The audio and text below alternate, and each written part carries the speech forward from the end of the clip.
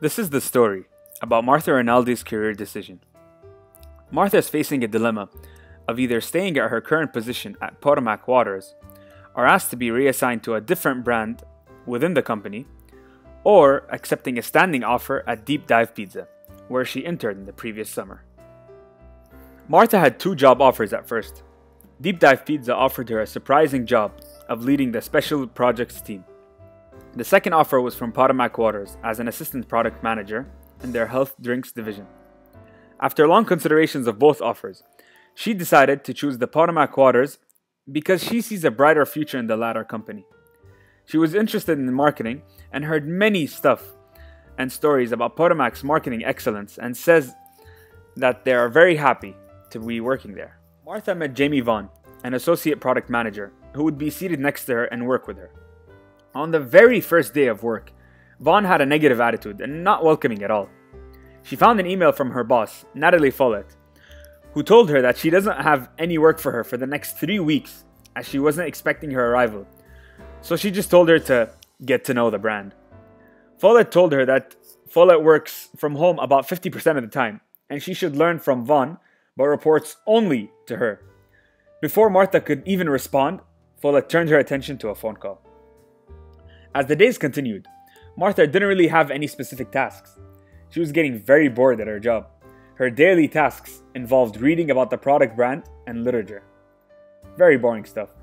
Martha began to question why did Follett not see any potential in her like other managers do? She never had more than five minutes with her, or more than a short email. Finally, Martha was assigned her first interesting assignment, in which she did a great job at.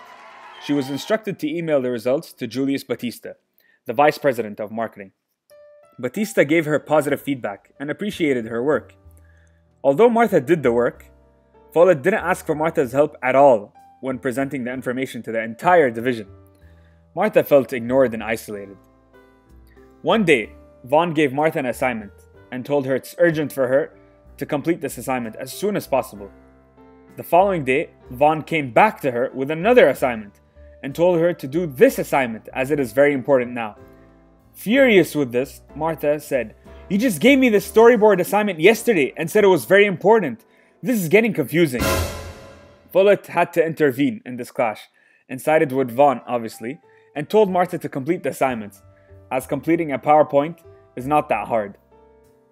Over the next few weeks, shouting battles between Martha and Vaughn continued, as Martha would say, You're hard to please, and Vaughn would reply, You arrogant MBAs are all alike.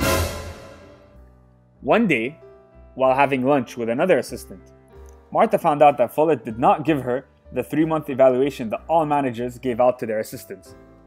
So she asked Follett about the review. Follett replied with a sigh, oh, Okay, well, if you want one, we'll do one. Martha heard from others that Vaughn had the reputation of being very difficult to work with, and that she isn't alone on this. Martha heard plenty of negative remarks about Follett and Vaughn that made her future seem murky and alarming. So now, Martha had to make an important career decision. Should she ask to be transferred to another product brand within the company? Or would that make her seem like she is the one that's hard to deal with?